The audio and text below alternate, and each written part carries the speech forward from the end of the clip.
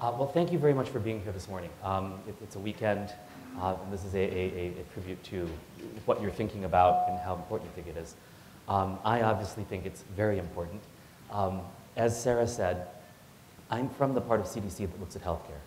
Um, healthcare and infection control related issues have not been a long-standing part of public health. Um, the entire field didn't exist until around 1972, 73 when people started noticing, I think that Pseudomonas is actually spreading in the hospital, right? I think there's something we're doing in the burn unit that's causing problems. And that led to the gradual evolution of a field of study of healthcare quality and infection prevention. Um, what I want to talk to you today uh, about is, that was bad grammar, um, is what is special about the healthcare sector when you think about it in terms of public health and sort of the bigger picture of, of prevention. The biggest thing I think that uh, we need to be conscious of is that many aspects of what we think about in terms of public health projects uh, or even programs are very, very um, clear cut and sometimes even short term. Thinking about the vast amount of work that it takes to get rid of polio, right? It's a huge job globally, but if you think about it, you're, you're delivering vaccine to the field, maintaining a cold chain, keeping records, doing this one thing. If you get it done, you get to walk away. Right? That's kind of a luxury in public health.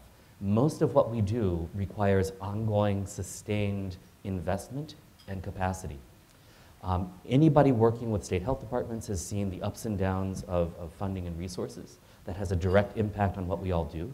Anybody working in a health system right now understands just how close to the edge many facilities are in terms of resources. Um, this is a challenging situation in which to try and implement something that is not a one-shot deal. Right? Infection control, healthcare quality is investing in something that you're going to maintain forever. And this is what's killing me personally. Well, uh, that and butter, but um, when, I, when I think about West Africa, for example, in the aftermath of, of Ebola, um, it's still there. It's an endemic disease. The fact that we're not seeing transmission right now is great, but it will probably come back. And despite the millions and millions of dollars and, and person hours that have been invested globally in that region, um, you know, how do you set up something that's going to be maintainable? Where is the disposable PPE going to come from once it's not donated? Um, what do we do about maintaining a water supply once you don't have a truck to go to the river? Um, you know, these are the very concrete things that um, I can point to when we're talking about something as stark as a remote Ebola outbreak. When you translate that to healthcare systems in, in, in this country, um, we have the good fortune on the one hand of having resources. We can generally rely on cl clean running water. Um, someone takes the waste away. This is all very good. Um, we can take a lot of that for granted. What we often don't appreciate is how much stuff there is to pay attention to. The amount of detail, the amount of complexity in a modern hospital in this country is crazy, right? If you think about the number of interactions a single patient has with radiology techs, with nurses, with reception, with clinicians, with laboratorians, it's, it's very complex, and you multiply that by tens of thousands of patients every single day, and the size of the problem becomes rapidly enormous. And so a lot of what we think about is, what do the systems look like to make this successful? What do we need to build so that we're not caught flat-footed? So, um, oh, I, am a Fed. I have no disclosures to make. Um, so what are we here talking about today? Um, emerging infectious diseases. I'm going to I'm gonna give you a few examples of those emerging infectious diseases. Um, some of them are, are very much um, of the Ebola variety, but not all of them. They all share the, the, the sorts of things that I have listed here. Um, new environments. You know, when, when you build a new residential community in the forests um, of, of Connecticut, you displace the deer, but they still hang around, and the ticks that they have on them end up causing Lyme disease. Right? That's an emerging infection that we created by going there. Every time we take down a prairie dog colony in Colorado to build a housing development, it's not just housing development. If you're in the housing industry, I apologize.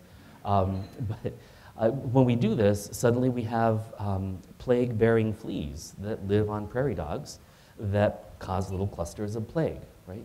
The things we do environmentally have a direct impact on what we do. Um, vector exposures, you know, there, there's nothing more obvious right now than the Zika virus issue with the change in um, mosquitoes that are moving across the planet, um, but also procedures. I don't know if you've been following some of the cosmetic procedures that are becoming prevalent. People like to have fat sucked out, um, and, and I, I appreciate that. But it's a problem when what really should be a sterile surgical process gets shifted to a place where those resources of sterilization, disinfection, environmental infection control may not be so good. What do I see? I see people coming back from questionable places having had liposuction that had tap water contamination of the trocar. What's in tap water? Well, a lot of organisms that don't harm us when we drink them, right? We've got, you know, um, stomachs that are designed to disinfect things. We have salivary enzymes and so on. But when you slide that under the skin into the fat layer and cause a lot of trauma, those non-tuberculous mycobacteria, right, M. chimaera, those things that live in tap water all the time, are now seeded throughout that fat layer. And over the course of the next eight months, you get these horrible festering infections that are very difficult to treat. Um, I see this pattern happening again and again. I'm going to show you a couple of additional examples. Um, societal factors and populations. Um, I'll also show you a couple of examples of, um, of the healthcare system in general, but you know, think about what nursing homes look like today. You know, if you go back 30 years, nursing homes were residential places that might have somebody to help remind you about medication. Whereas today, people are actually delivering basic medical care in many nursing home settings. Do they have the training, the infrastructure, the help that they need? Probably not. Are they well resourced? Not generally, right? So I, I, see many patterns that lead to these outbreaks. Monkeypox, it's, it's been a couple uh, years now, um, but this is a great example. Prairie dogs, once again, implicated. Um, the giant pouched rats that live in West Africa, they carry monkeypox. It's, it's normal to have monkeypox in West Africa. It is not normal to drag a giant pouched rat back to the United States, uh, much less sell it as a pet. Um, people who, I, you, I'm sure you've seen this, it's kind of like gun shows. Um, they also have pet shows where people swap animals.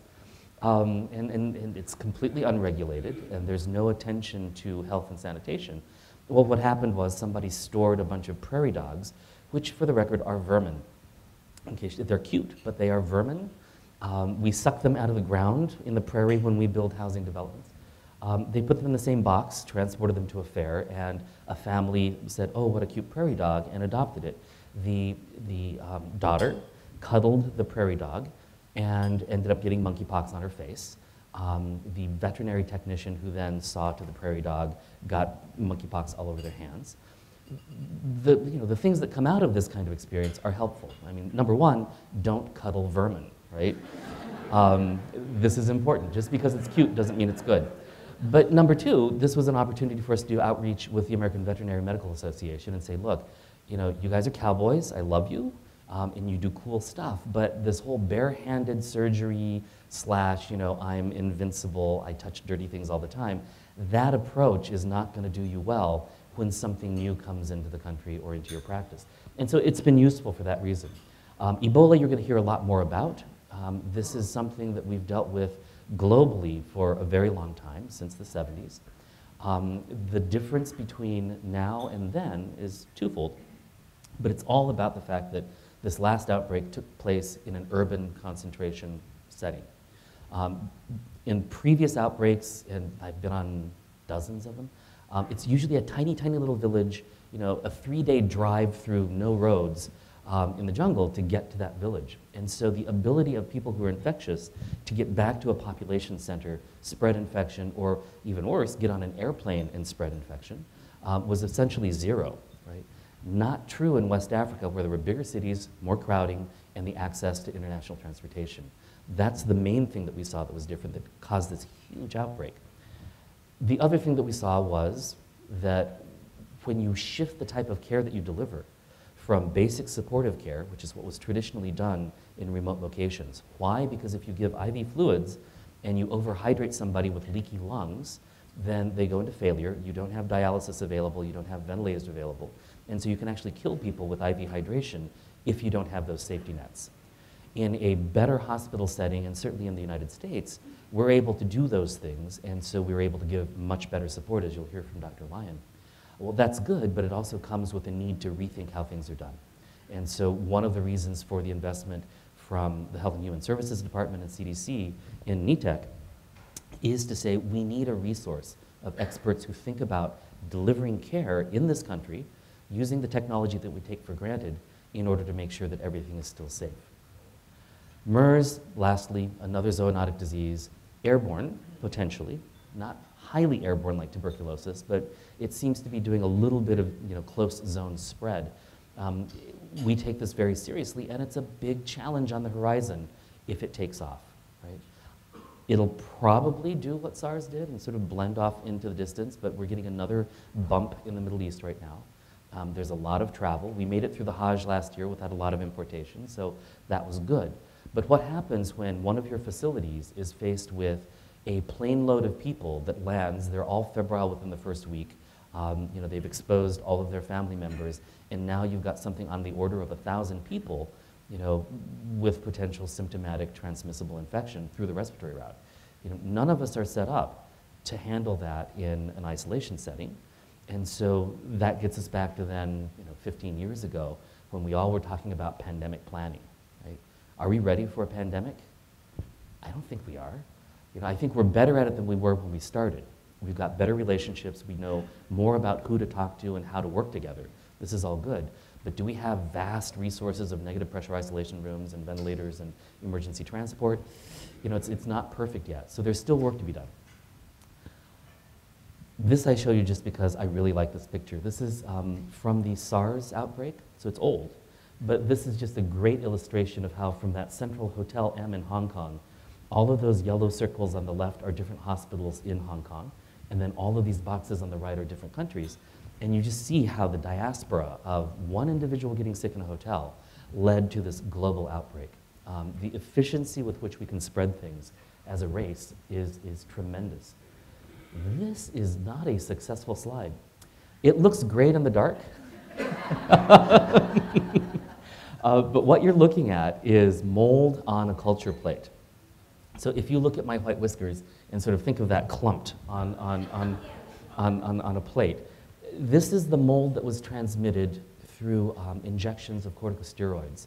The Northeastern uh, New England Compounding Pharmacy outbreak from two years ago. Um, this affected many different states. Uh, we had something like 14,000 patients exposed to this stuff.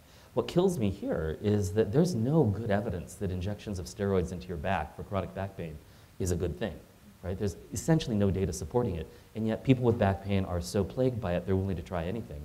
Um, that's one problem, but then when you link that, sort of a perfect storm, with the problem of uh, compounding pharmacies and how they're regulated. If I'm a manufacturer of drugs, I have to do good manufacturing processes, right? I have to prove it. FDA regulates me. I have to test the product at the end of the process to make sure it's sterile. There's a lot that I have to do. It's expensive. If I'm a compounding pharmacy and not a manufacturer, I don't have to do any of that, right? And this is how this particular pharmacy, and I'm sure a few others, makes tremendous profit. They buy inexpensive base materials. They don't do any of the due diligence. They sell it at 30% off compared to the commercial product. And all of these different states saw this on the internet and said, oh, that's a bargain. We'll order from them. And the next thing you know, you have patients coming in with a horrible headache. Why do I show you this particular outbreak? This is because we, we relied on sentinel detection by one really smart state health department individual. It was Marion Kainer. Right? She put the pieces together and said, wait, wait, wait, um, fungal meningitis and back pain, steroid injection, you know, compounding, this just smacks of something. And so she put her foot down day one had it been someone else or, or, or, people without that kind of thoughtful process, this could have smoldered and instead of 14,000, it could have been 50,000. Right? There are still people in the United States suffering from ongoing chronic infection with mold in the brain. This is a bad thing. Um, what it means, though, is we need people who can connect those dots. It always boils down to people, right? And we need a fast way to notify and address the problem. So quickly getting information out to people who have back pain, quickly talking to the professional societies and the payers who deal with that pain treatment world. uh, working directly with FDA so that they can force a recall. There are all of these things that have to come together very quickly. It's chaotic. There are toes that get stepped on, and nothing ever works as smoothly as you would hope. But this is what happened, and it was about as good as it could get. Now that it's darker, I'm going to go back to, nope, it's still bad. Oh well. I am an optimist, as you can see. Um, switching to um, NTMs. Um, there's a picture here. It's not coming up. I wonder if any of the pictures come up. Okay. So, another classic case of unintended consequences. Um, we're seeing people getting non-tuberculous mycobacteria infections, M. chelonae, M. chimaera, um, after heart operations, um, open heart operations, valve, replace, uh, valve replacements, and that sort of thing. And it's been traced back to these heater-cooler units. Um, the big picture of it is not showing, so I will show you some close-ups. Um, these are little roll-aboard sort of um, stainless steel boxes that create cold or hot water uh, reservoirs for heat exchange. This is how we cool down the fluid around the heart so that the heart gets so cold that it's not damaged while it's outside of the body. Right? Um, there's also a heating function that is used to circulate water through heating blankets. So it's a very important piece of equipment. And I want to be very clear, we don't want to get rid of useful equipment, but we do need to think about what that equipment does when you put it into, to, into practice. In this case, you're looking at a stainless steel box um, and a compressor, right, with a, with, a, with a cooling unit at the bottom, and a fan that looks an awful lot like the fan in the front of a car engine. The louvers that you can see on the edge of the box um, there are, are where the fan forces the air out. So just right there, stop and think about this. Here's the patient in the operating room. Here's the heater cooler unit, the tray table, and the anesthesiologist, right? Open chest. And you've got a fan that big blowing air out the louvers in a very chaotic way. Just starting with the fan alone, this is not good. Um, also, just as a heads up, there's um, up above circuit boards that have their own cooling fans that are higher up. Well, what's higher up is the tray table with your sterile equipment, right? So again, fans are problematic. The reason I show you this um, is that you can see evidence of water having pooled um, here and down here on the flat surfaces inside of the machine. Where is the water coming from? Here's another piece of the machine that's foam insulation that sort of keeps the warm reservoir warm. You can see someone tried to scrape away some mildew. Okay? Also, not good. Um, why is this happening? How many of you have been in an operating room? Icy cold, right? 60 degrees or something like that, sometimes colder. Um, just for the record, that's so you don't sweat as much. It's not because it kills bacteria. I had somebody tell me, oh, we keep it cold to prevent infections. Like, mm, no, actually not. nice try. I'll get back to that issue in a moment. Uh, but think about this. You've got foamy, uncleanable, unreprocessable material, right? Uh, you've got a stainless steel box with a hot water reservoir creating steam in a steel box in a 60 degree room. What's the steam going to do? It's going to condense and drip down. What happens when you've got puddles of water, environmental micro, uh, microbes like NTMs, fungi, et cetera, grow happily. And then when you turn the fan on, that stuff is shaken up and aerosolized. So is there any surprise that this can actually lead to infection? After the fact, with what I know now, there's no surprise. Did I ever stop when I was working in hospitals in infectious diseases and say, we should check into heater cooler units in the operating room? No. This is a beautiful stainless steel European manufactured thing that looked really modern and had touch panels. It has to be perfect, right? It's kind of like prairie dogs. Just because it has touch panels doesn't mean it's safe. Um, prairie dogs do not have touch panels. Um, but what this is, is another indicator of a different direction, right? Here we're not looking at one smart individual who says, oop, I found a problem, we need to act. This is an array of people who need to be thinking about infection transmission in healthcare settings. Um, and it's not the people you normally think about. It's not just nurses and doctors. It's not the infection control professional necessarily. Think about the materials management guys, right? Because no one else is going to take apart that steel cabinet, right? Infection control professionals almost never pack screwdrivers. So you want people who are doing materials management to have a sense of what's concerning, of what they should be focusing on. You want them to be thinking about the fact that if you can't reprocess and clean a foam insulation piece, scraping off the mold is not the solution, right? That also means empowering them to call the C-suite and say, look, we need to rethink this device. Um, here's what it's going to cost to replace all of them outright. Here are the options. Um, in Europe, they did two things. One, one group in Holland actually drilled holes in the operating room wall, put a little gasket on it, and ran tubes through it. So the machine is in the hallway outside of the operating room, and the heater cooler circuit just comes in as tubes. That's fine because all of these organisms exist in my closet, right, on the top of my refrigerator, um, in, in the crawl space of my house. They're normal organisms. You just don't want to be blowing them around when you have somebody's chest open, right? It's that. Um, so you want materials management type folk to be involved in this conversation about what is safety, right? It's not just checking off the box that says, I wiped it down, you know, once a month with the right stuff. Purchasing is also a piece of this. Um, we tend to value engineer for all the right reasons, but we then miss the piece when we, when we think, wow, you know, what is it going to cost to actually make this safe down the road if I buy this one instead of that one and this one has a design flaw? Lastly, this is all tied to pushing FDA, working with FDA, uh, to be a little tougher with device manufacturers. Devices are very easy to get into the market. Um, compared with drugs, the clinical trials that you have to do to get a medication on the market are pretty big um, and pretty expensive. That's one of the reasons it takes so long. But when it comes to machinery, I can design Mike's newfangled special X1000, uh, whatever it is, and patent it and get it out there, and I don't need to do very much. And that means that healthcare facilities and we in the profession need to be including that element when we think about this stuff. The last thing that I'll say about um, emerging infectious diseases is this, well, not the last thing, there's more.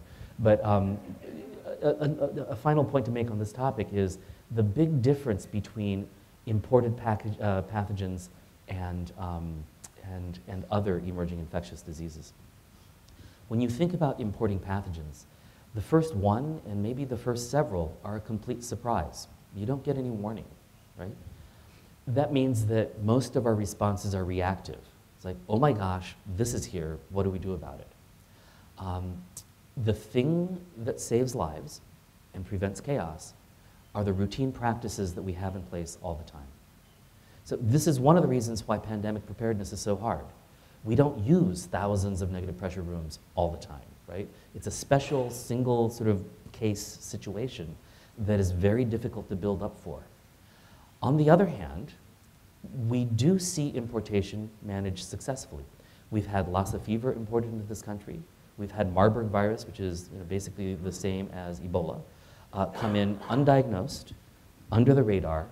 The, the lady underwent surgery successful. Well, it wasn't successful because she didn't have any problems. She had Marburg, um, but they didn't know it. So they opened her up, closed her back up, and no one got infected because all of the routine basic practices that we rely on were in place, right? People were appropriately using gloves and gowns and hand hygiene and environmental cleaning, et cetera, et cetera. Um, this is what we want. We want a health system that does all the normal things consistently and hopefully understands why. I'll get to that in a moment. Um, so that when things do slip in that we don't notice, because that's how it's going to happen, right? We will be protected. We don't want the, the, the, um, the arrival of something to be announced by a major healthcare outbreak of some new pathogen. That is a disaster. It's a disaster not just for the facility, but for medical care delivery across the board. Um, from here, I'm sure you watched what happened in Dallas this was chaos of the highest degree. There was terror, and I'll say a lot about that terror in a moment. Um, people were very frightened. Um, and the, the reality here is that that hospital was truly challenged by an unrecognized, we can argue about whether they should have recognized, but an unrecognized, unidentified infectious Ebola patient walking in the emergency department and then moving through the hospital through ordinary paths, right? You can, you can imagine in each of the facilities that you've seen how that could happen. Um, there's a big difference between that and what our colleagues in specialty units do. Right? If someone calls you and says, we've got a patient for you, we think it may be this, can you take them? And you say, yes, we'll be ready. That's great. That is perfect, and it's a wonderful resource to have. But that's not the same as any rank and file general hospital near an international airport being ready to have somebody wander in without warning. So just bear that in mind as you're thinking through this process today, because they're, they're a very different calculation. Um, so when I think about routine practices, what do I mean? Uh, some of it is how we provide care. Um, arrival assessment is something that you know is easy for some things. If you are bleeding or clutching your chest with chest pain, hospitals in this, in this part of the world know what to do, right? You, you go very quickly to certain pathways. We're not as good at that when it comes to somebody with vague symptoms or a fever, right? There's so much other stuff that it can be that there's a need to sort of stop and think a little bit. History taking, though, is something that we really can't skimp on. I'm amazed at the number of calls we're getting about, all right, do we still need to ask about travel now that Ebola's done? It's like, yes, yes, it's part of delivering medical care, right? You, you want to know where people have been. Um, and it's not just for Ebola. Like if, if a person with fever and a lung infection comes in, but they were you know, a near drowning victim last week you know, off the coast, that's a different person than somebody who comes in who's been living in a nursing home and wasn't a near drowning victim. You, you need to know these things. Um, so history taking is key. Um, syndromic routing is something that you know, we do to a certain extent. Most emergency rooms and acute care clinics are pretty good about if you come in with a rash and a fever, right, they're going to think, ooh, measles, chickenpox, you know, one of those. Either way, you're not going to sit in the waiting room. You need to go over here by yourself. Um, diagnostic evaluation. What, if, what are the things that we need to have available quickly? We're in a better place now than we were 10 years ago. The rapid diagnostics that are available today are so much better and so much nicer. Um, I had my fingers crossed with the sort of space-aged Theranos company that you keep seeing in the news with the young gal who may or may not have technology that may or may not work. Um, if it does work, though, tiny, tiny blood sample, right, available in pharmacies around the country for people to just use without a prescription, it's going to make life crazy for a little while, but it could help a lot because people will arrive with a possible diagnosis. Very different game. So technology is helping us, but at the end of the day, we still need to rely on standard precautions. Now, it is easy to think about standard precautions as just a checklist of things. Hand hygiene, respiratory etiquette, um, you know, use gloves, use gowns, use flash protection, blah, blah, blah. But it has to start with a risk assessment because at the heart of standard precautions, and for those of you who aren't living and breathing infection control all the time, standard precautions is what we recommend as a, a national thing that every healthcare worker use all the time for all patient contact.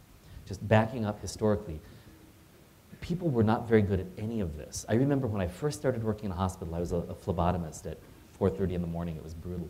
Um, it was more brutal for the patients because they got poked, but it was still early. Um, you know, no one wore gloves.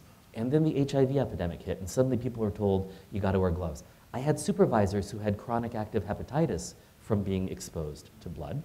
Um, but it never occurred to them to wear gloves because that was somehow weird. Um, HIV scared people, and suddenly it was all gloves all the time, and universal precautions came on to sort of the, the, the dialogue. Um, universal precautions means you don't know who has what, so you treat all blood and body fluids as though they might be infectious. Great idea, it's a good way to go. The problem with universal precautions is it was all about protecting the healthcare worker, right? It's how do I not catch an infection? Um, and it sort of lost sight a little bit about what we do to protect patients. So standard precautions kind of brings it back to the middle ground where we need to do a lot of different things routinely to both protect ourselves, but also make sure we don't spread infection from one patient to the next. What am I talking about when I say protecting patients?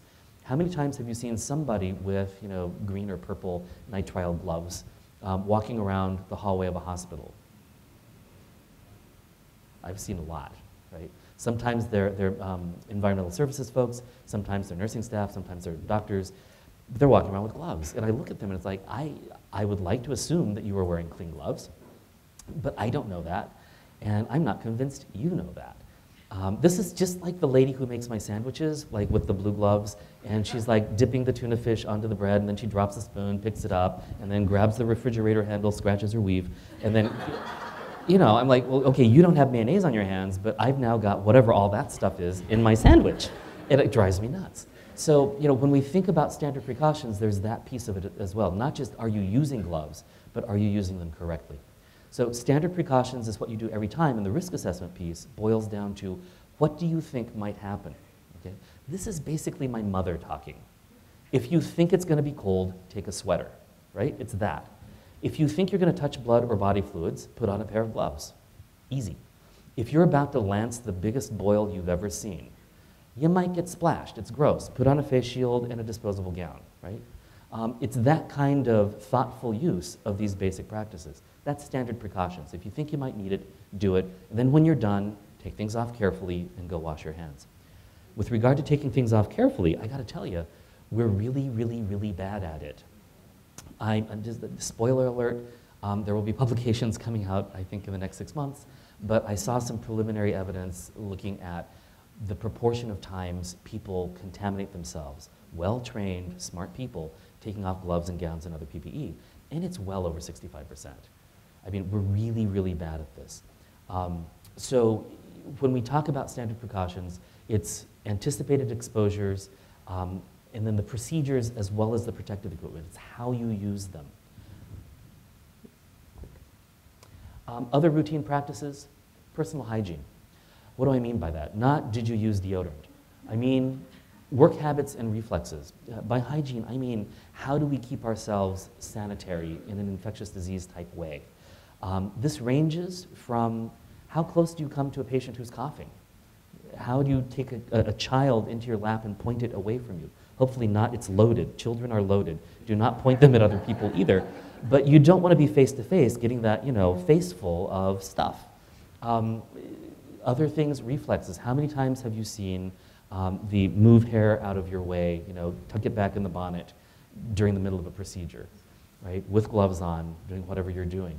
I see this constantly. Um, the worst is like when you're suctioning somebody and you've got sputum with what? Acinetobacter, Pseudomonas, Serratia, you name it, CRE, on your hands, and you're, you're doing stuff, and then this crosses over to um, environmental hygiene.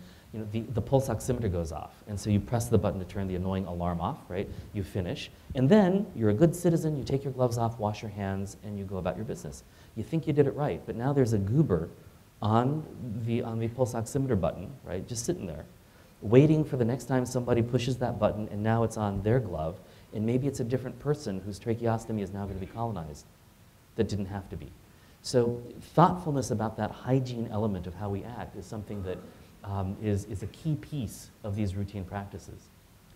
Um, last thing I'm going to say a little bit about occupational health and environmental hygiene. I showed you the big machine, not that big, um, that seems to be posing a threat. Um, there are other elements of the environment that I think is worth thinking about. In fact, I'm, I'm willing to suggest that the 10 years that we see coming ahead of us will be an era of a lot of attention to the environment with regard to healthcare quality and infection prevention in particular.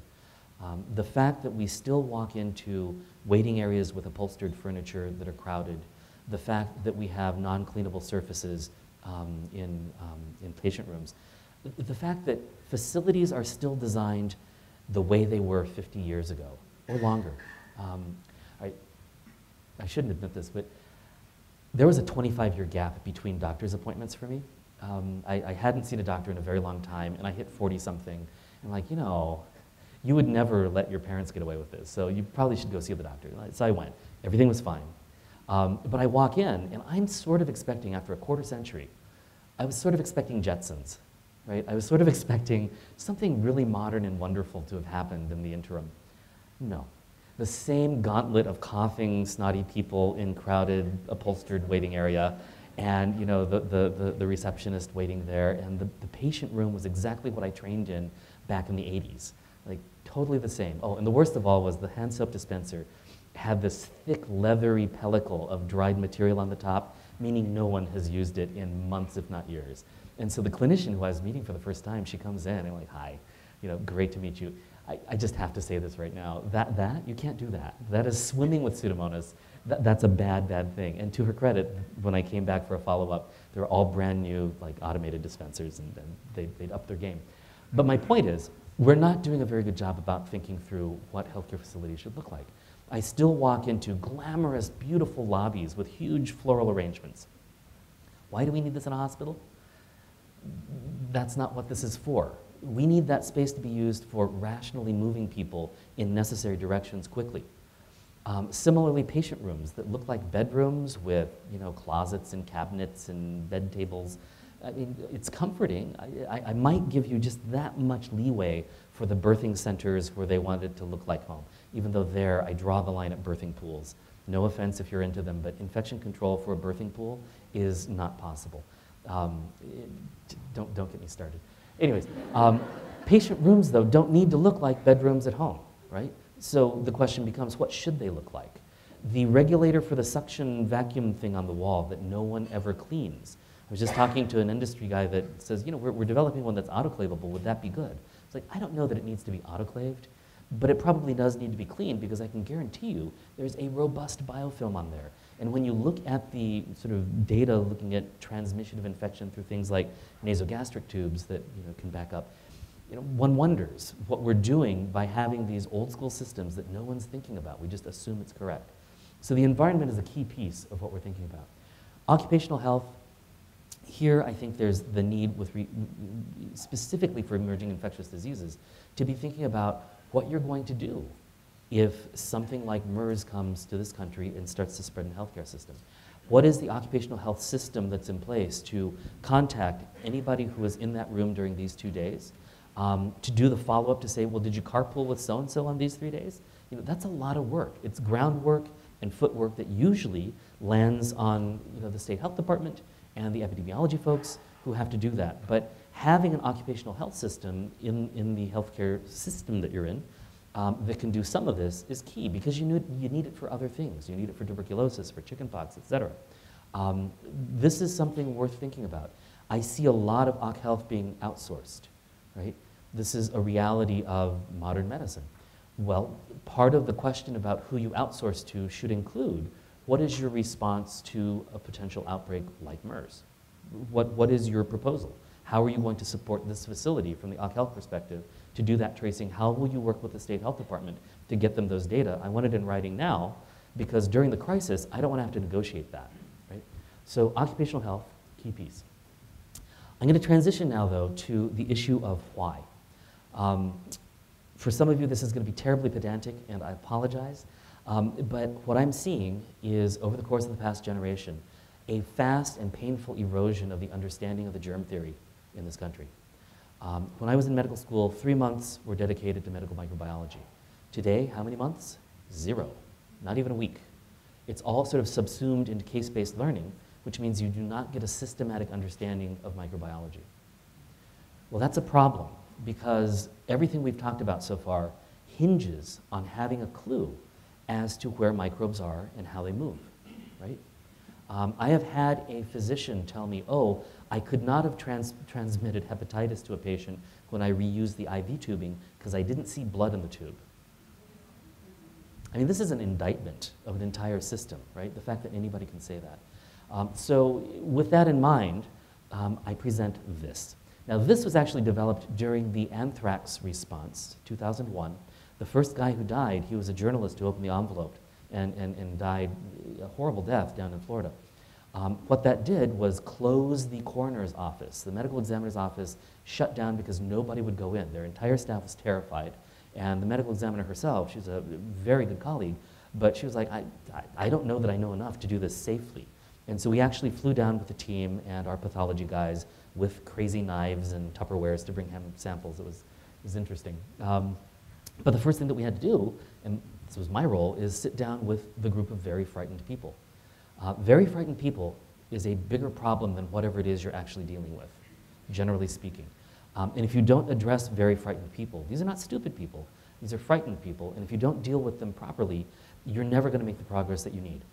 And so sitting down with them and showing them this, I expanded on it as you'll see afterwards, but this was a very quick night before, throw something together kind of thing originally. Um, you know, it was an opportunity to sit down and say, look, the way you can catch anthrax is this. This is how you would have to catch it, otherwise you won't. Um, we're really challenged by things like anthrax and Ebola, where the name itself instills fear. Um, but anthrax is pretty commonplace. You can probably swab a good proportion of the cowboy boots in Texas and find anthrax, right? This is a normal bovine disease that cattle get when they cut their lips on the grass at the end of summer. It's like sharp and prickly, and they're nibbling, and they get cuts, and anthrax spores get in there, and they get a big infection. They die, and they poop out anthrax and bleed, and that dries on the ground. And the next drought, you get another cow nibbling that grass, picking up those spores. That's what happens. The weaponized anthrax that was used during the, the release is a different story. It floats around and is, is a significant problem. But once it goes through an infectious cycle, it's original anthrax again, right? Because the weaponizing is grinding it into a super duper fine powder and adding a negative static charge. That doesn't happen in a cow or a human being. Um, why am I telling you all this? Because you, you, you, you really do need to grapple with the issue that organisms don't have legs, these organisms, um, legs or wings, right? They're not spring loaded. Why am I saying that? Well, think about Ebola, where perfectly good healthcare personnel were trying to seal quarter inch like gaps in their protective equipment with duct tape because they were terrified that something was going to shoot through that and, and, and, and get their neck, right? Okay, that's science fiction. Bacteria, viruses, fungi, they don't shoot through things and get you in the neck. They do get transmitted though, and, and this is how. First of all, they have to leave the original host, right? So if they're in a human being or in an animal, they have to get out. What does that mean? It can be by coughing, it can be by bleeding, it can be by a clinical specimen, um, but something has to remove them from the body, otherwise they don't get out. There's also the incubation period. If I poke myself with a needle of Ebola virus, right, I don't have to immediately get taken to Dr. Lyon's facility. I can actually go home, right, turn down the thermostat, feed the cat, I don't have a cat, um, but you know, grab a couple of novels and go back to the hospital and sit there and sweat until I find out if I'm infected or not. But I've got that incubation period during which I'm not infectious. So this is important to know. Um, this is also um, something to think about when, when we deal with major catastrophes. The first time this came up in my, in my history was um, with the Turkish earthquake the first question they said, you know, they called me. We've got all these dead bodies. Do we need to bury them in trenches? You know, how long can we wait? Should we put lime on top of the bodies, etc.? And it, you know, there was no recommendation anywhere. Um, I, I, made the mistake of putting together a two-paragraph response, which then made me the dead guy guy um, forever. Um, but the bottom line here is dead guys don't cough, right? A dead body is not inert. There are biochemical things going on, but it's breaking down. And so the enzymes are destroying cells, but also destroying bacterial cells. Um, bloodborne pathogens that have envelopes um, are rapidly destroyed as the pH becomes more acidic. Um, there, there should be very little causing things to come out. And what does come out is about the same as a dirty diaper. Right? If you think of mouth bacteria, gut bacteria, skin bacteria, and a couple of viruses, that's about the same thing that we routinely wad up in a little pink plastic thing and throw in the garbage can. Right? So when you think about it rationally and get away from that sense of, oh my God, it's a dead body from some disease, and then think immediately to Hollywood scenarios, um, it isn't that you need to do something immediately for infection prevention. You do need to make sure that those fecal bacteria don't get into a water system or a food supply. You do need to make sure that um, animals are not able to gain access or that the local population isn't further traumatized by seeing dead bodies handled badly. So it needs to be done respectfully and quickly, uh, but it's not that it's about to generate a plague. If you think historically, walking into a village full of dead people from plague, what really happened? Did you really think I was going to be talking about villages of dead people at this talk this morning? You didn't, did you? Yeah. Um, people never do. Um, so what happens? The fleas from the Black Plague bit people, they got bubonic plague, then they got pneumonic plague, whatever. So you walk in, another flea bites you, you walk out, you get bubonic plague, and you think it was just by being in that village of dead people that you got it, right? There, there are illusions here fostered by not understanding transmission.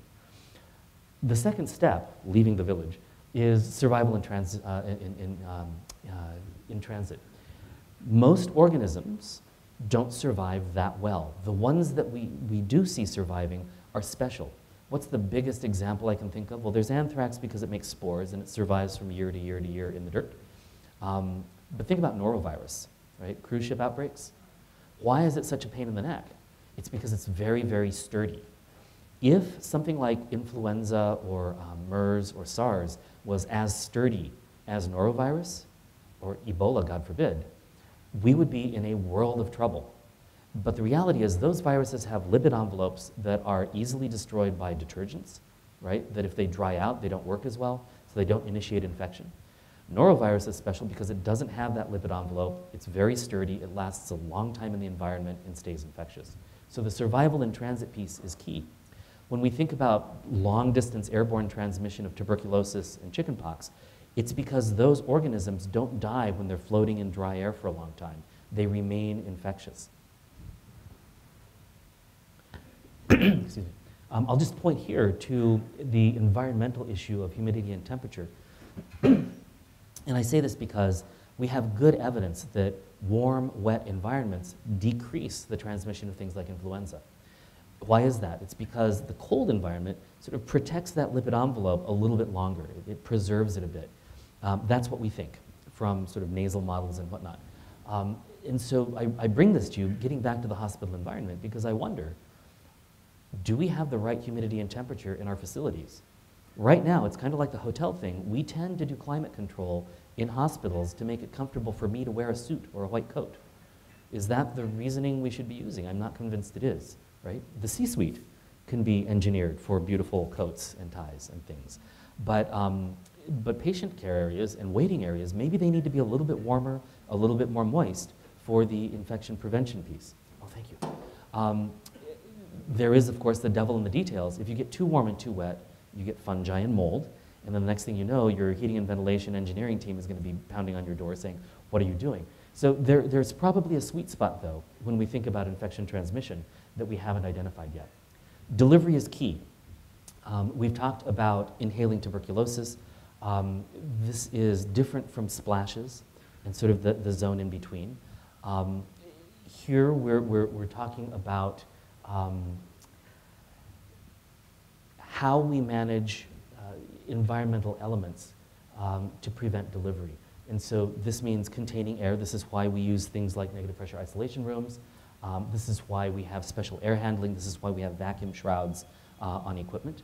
Um, in terms of surfaces, this is also how we uh, approach device reprocessing, environmental cleaning, and hygiene. Um, this is also sharps management, right? Um, if you're thinking about HIV or hepatitis, the fact that we use sharps containers interrupts that chain of transmission. And then finally, hands. Um, you know, I, I, shouldn't have to say this, but I will.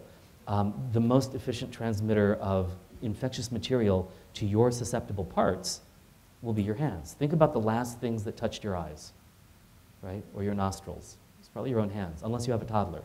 Um, but generally speaking, it's your own hands. And so rather than worrying about making the entire environment sterile, people say, well, should the, should the curtains be sterile? It's like, well, no, after you touch the curtains, if you're going to touch something else that needs to be sterile, you should clean your hands um, and, and, and break that chain of transmission. The susceptible part of a host is a key element here. Um, human skin is actually pretty darn good at preventing infection. If that weren't the case, every time you went gardening or swam in the sea, you would come back with horrible infections, but you don't, right? Intact skin is a good thing.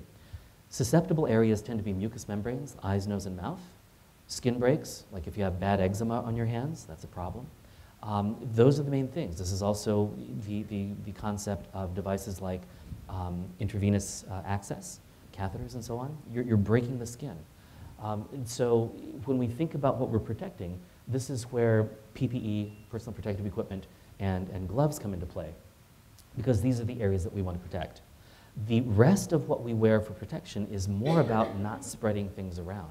So it's not going to kill me to have somebody cough up something infectious and nasty on my jacket. If I take my jacket off carefully, um, I might have to ditch the jacket. I ditched a tie once. I was doing a colonoscopy as a medical student, and the little instrument port was open, and so my entire tie had this mist of, of poo juice. It was terrible. Um, I have never been as upset ever in my life. It was so, yeah. Um, but you know, you, you cut the tie off and you change your shirt and you get some scrubs and you're fine. Um, so PPE, a lot of this is to give you a layer that you can take off. It's not that it's somehow going to drill through and you know, burrow through your abdomen and cause an infection, right? Uh, but that is the perception that we get. Why? Because of Hollywood, because of a lack of understanding of, of, of how organisms cause infections. Host defenses, this is just for completeness, but this is why we immunize people against hepatitis. This is why we do post-exposure prophylaxis if, if we can, um, and, and wound care. For something like rabies, um, you know, we, we want soap and water really fast because that does a huge amount to prevent infection from happening in the first place. Only if you sort of have all of this happen can you then have an organism multiply and cause a clinical infection, right? A lot has to happen to get infected. That doesn't mean a lot isn't happening, but it's good to be thinking about all of these steps. And for uh, no other reason, perhaps, than to be able to explain it to colleagues and coworkers down the road. It's one thing to give somebody a list of things they have to do without any understanding of the why.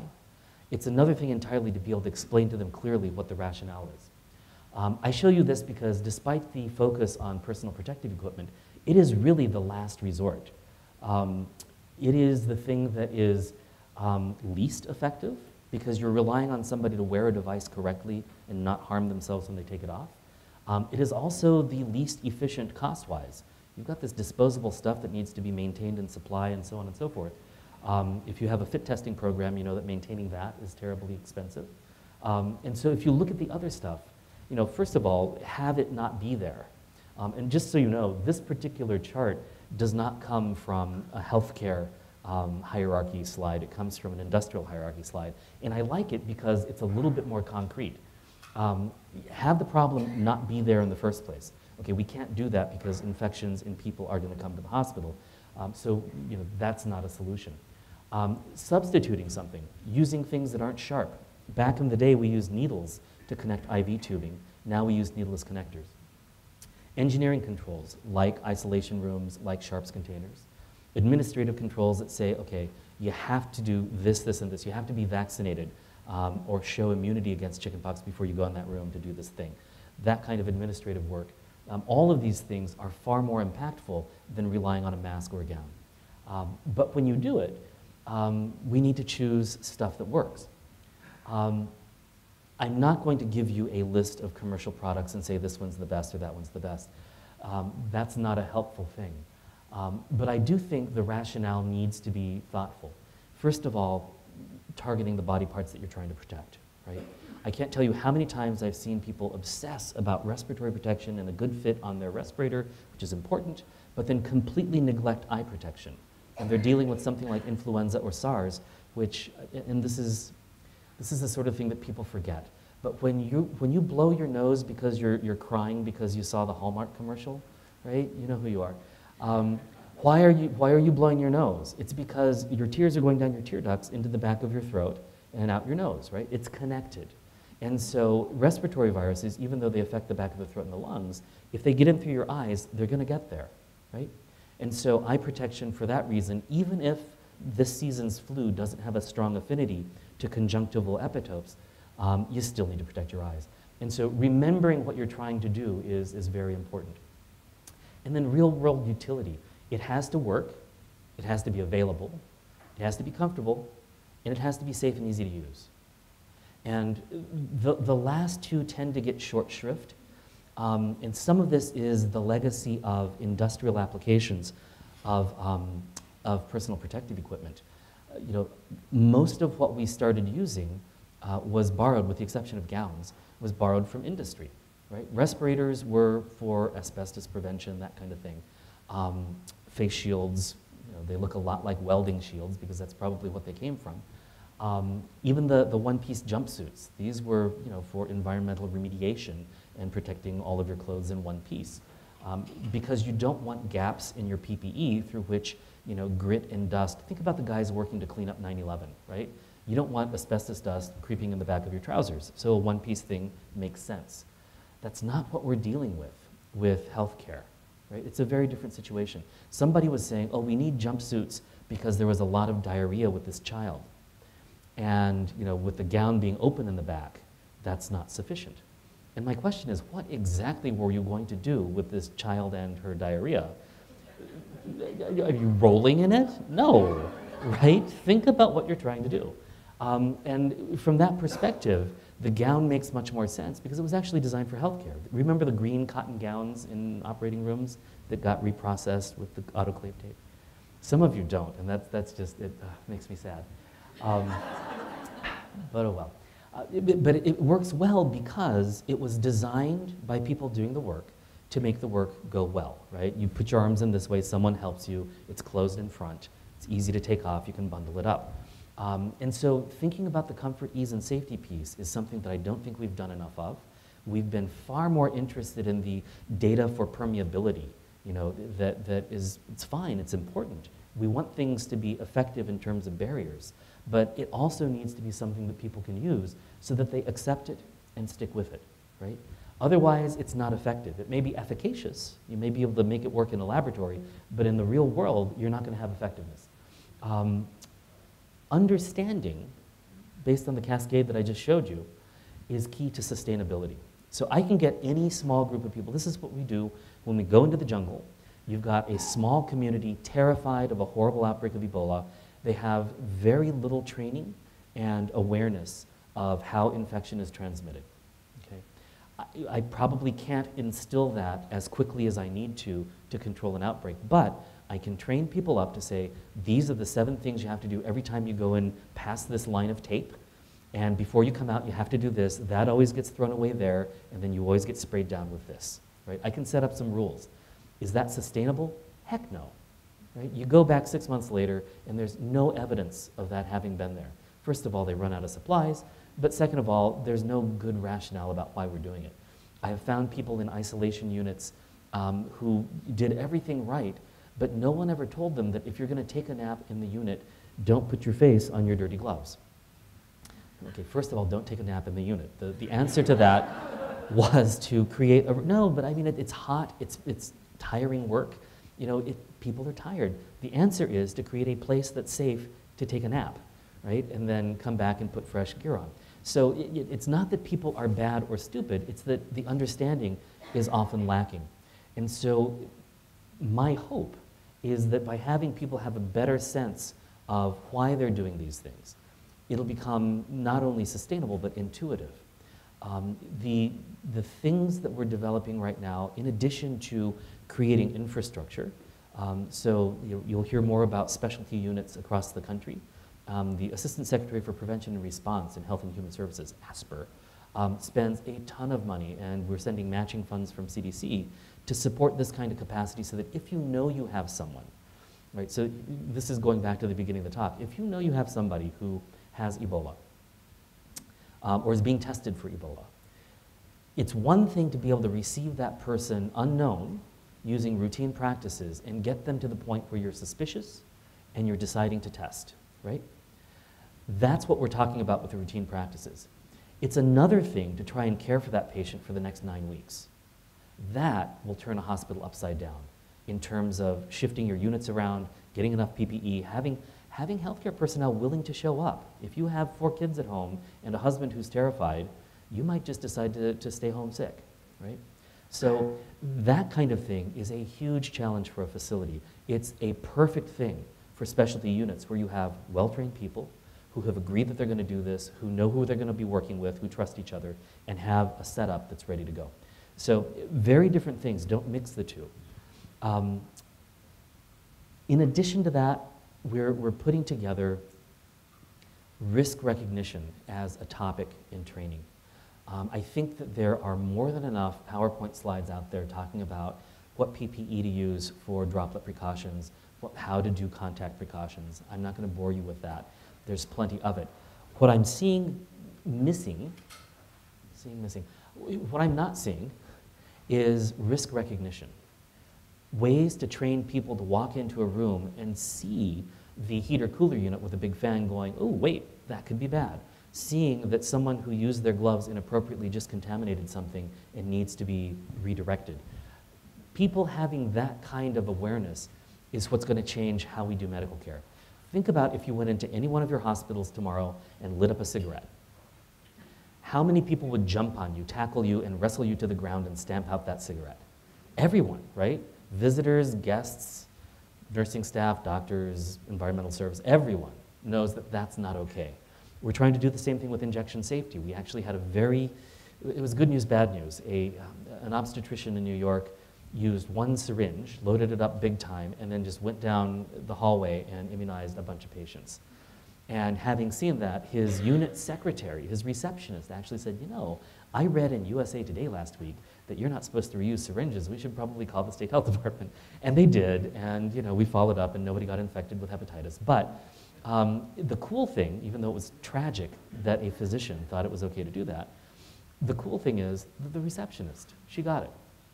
She said, that's not okay. And I want that same kind of risk recognition to start to percolate through our population. I want moms to be able to say, oh, no, no, no, no, I just saw that you touched that and now you've done this. You know, we need to wipe that down. Because moms can do that, right?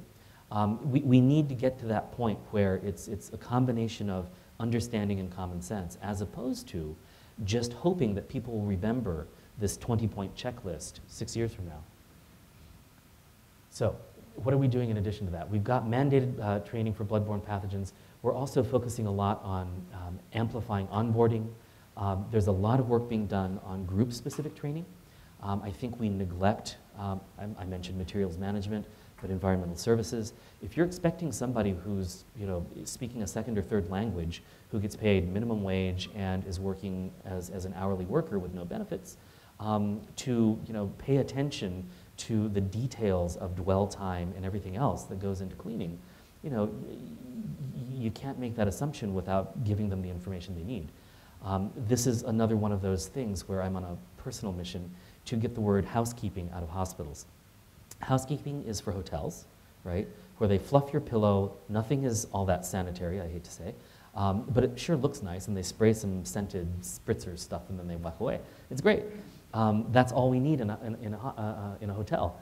But in a hospital, environmental services actually has impact on whether patients survive, right?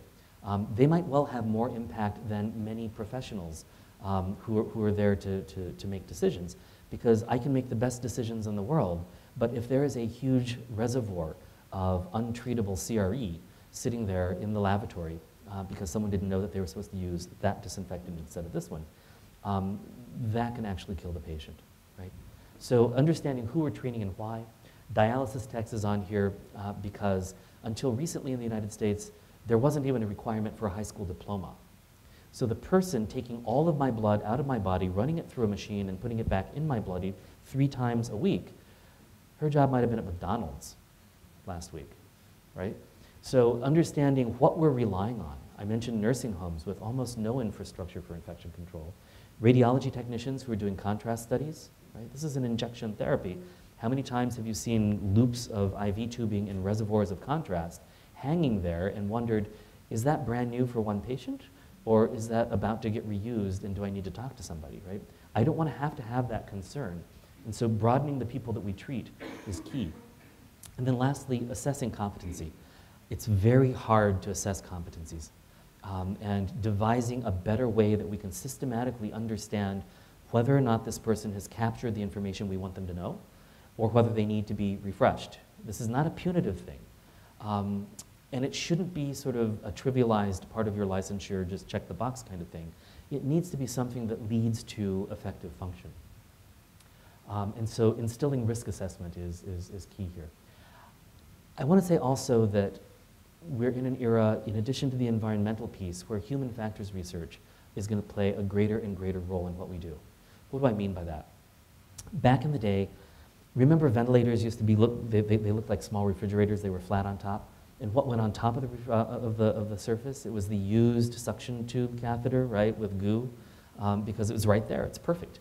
Um, that's not good. Well, now that it's all flat screens, there's no surface, and that problem went away, right? We cured a human thing. Um, now what do we have? We have flat surfaces on garbage cans that is so tempting to put clean linens on while you wash your hands because you're a good citizen. And then you pick up the linens and put them on the bed. That doesn't strike me as optimal. How about a nice shelf next to every hand washing sink where things can be placed? Um, I've watched people want to wash their hands, but they've got clipboards and notebooks and laptops, and they're like, oh, I'll just go in quickly. But if there was a shelf there where you could put something down, that can solve that problem. So, you know, looking at the human factors uh, elements in terms of facility design, equipment design, work processes, you know, we, we, we don't tend to rethink things. We'll redesign a facility and not change how we do work. And then social networks. This is probably the biggest and least visible thing. But what I'm seeing, and I go around the country and I see a lot of facilities, some of them I see them because they're doing something wrong, um, but a lot of them I get to see because they're doing something right. And the ones that are most successful, it's not one person's job. It's not, you know, Jack is the infection control um, professional who prevents infections. Um, when, when you ask a place that's successful, whose responsibility is it? They say, oh, so we have the pharmacy director, we have the uh, P&T committee, we also have the director of nursing, we have the ICU director, we have materials management, environmental services, and of course infection control and hospital epi. It's a team of eight to 10 people. They meet weekly, they address problems, they document them, they bring them up to leadership, um, and give us rationale. We, we support that, we get it done, and we have this constant sort of culture of, of getting things fixed. Um, nursing units where nurses meet and decide what they're going to tackle as a community and say, look, we think we can do better with CAUTI. Um, we're going to tackle these three elements. We're going to tackle insertion, we're going to tackle you know, where, the, um, where the bag is, and how the tubing is laid out. And this is what we're going to focus on um, every day. And then for a week, this is just one example, they all rated, they came up with their own checklist, their little survey form, and for a week they rated themselves. And then the second week they started rating each other. And the rate of infections in that unit dropped to almost zero. It was amazing. And so that kind of social networking um, is, I think, something that we'll see more of. Lastly, adaptive systems um, that, that feed back information um, to, to the people who are doing the work so that you hear how you're doing. With antimicrobial stewardship, for example, looking at antimicrobial rates, um, seeing how your behaviors tie to the outcome for the facility and patients. I'm showing you this because of the 70,000 deaths that we can attribute to healthcare-associated infections in this country every year. Emerging infectious diseases, which is, believe it or not, what I'm talking to you about, um, are, are, a huge challenge and an important thing. But the reason I've, I've spent so much time with you this morning on those routine, basic core practices is because 70,000 people shouldn't be dying of healthcare-associated infections in this country every year. This is the reality. It's not the one cluster of MERS that I'm worried about. Um, AR, 23,000 deaths. At the end of the day, what I'm asking for is really, really hard. I'm asking for perfect care. And put yourself in the patient's seat. If you're laying there with an IV in your arm, don't you want everything to be perfect? I mean, you don't want a roll of the dice, a toss of the coin, when that next person comes and does something for you, right? You want it to be perfect. I want everything to be perfect, and it's not going to be the status quo. We can't get to perfect doing what we're doing today, which is why all of those environmental issues and human factors issues need to be part of what we do, uh, because this is a very big lift. It's not landing and taking off a single plane um, just one time with two people in the cockpit. It's dozens and dozens of people impacting every individual patient, multiplied by thousands of patients every single day. So it's a big lift, but this is where we're headed. I'm just letting you know. Um, and I thank you for your help and your attention.